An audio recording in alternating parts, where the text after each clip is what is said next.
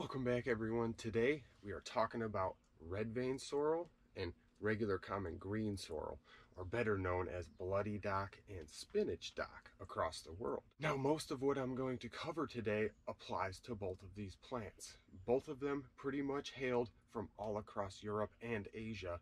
This was called Jamaican dock. It was thought to have originated from Jamaica, but I couldn't find any information 100% nailing that down as a fact. So it basically just came from across Europe and Asia and grew through the grassland. Both of these grew common as just a perennial weed. Now this is a zone four through eight perennial and it is a very hardy growing plant. It will grow in the shade, it will grow in full light, and it got its name sour herb from the French saying surlet and the German word sur meaning sour. Because this herb is absolutely sour but it's not so sour that we can't eat it. It's very delicious actually. It is used in many many dishes and can be pureed and the entire plant can be eaten and it has great benefits for our body. This sorrel acts as a detoxifier and as a diuretic. It helps clean out your urinary tract and your kidneys. And when you steep it in tea, it helps with inflammation and urinary tract infections. And sorrel is so beneficial to us because it is high in vitamin A and very high in vitamin C and it has iron and manganese in it also. And it has a little less of niacin and folic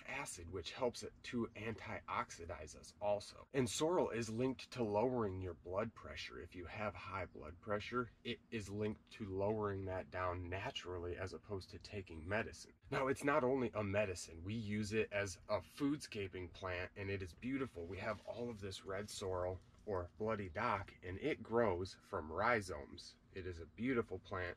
We've got our regular sorrel here and it also grows from rhizomes.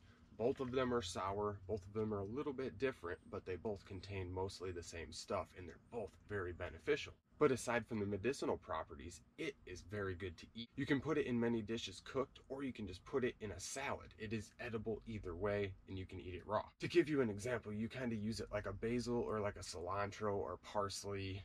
You kind of just cut it up and mix it in with whatever dish you want, and it boosts that up in vitamins and nutrients. And being that it has a sour taste, we use it with our fish or our eggs when we cook them, kind of like we would use a lemon basil. Now, these sorrels are super beneficial as microgreens, and a lot of people grow them as microgreens, but people don't like to grow them because they take so long to sprout. These could take up to 30 days as to where it's half the time when you're growing other microgreens. So this is a less common use, but people still do it, and they are super beneficial for you, being that they have all of those nutrients and vitamins packed into them. And eating all of those super nutritious sprouts and microgreens is even more beneficial for you than the actual plant itself. Now, the cautions of sorrel, there really wasn't many when I was doing research on this. All I could really find is that in super massive quantities, like you would have to make your diet only consist of sorrel in order to overtoxify yourself and cause any type of damage to yourself. So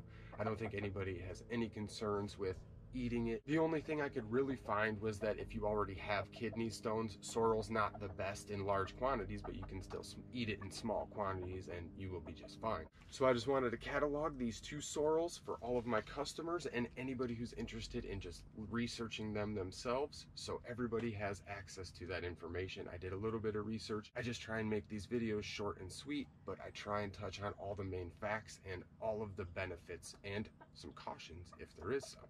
Thank you for watching.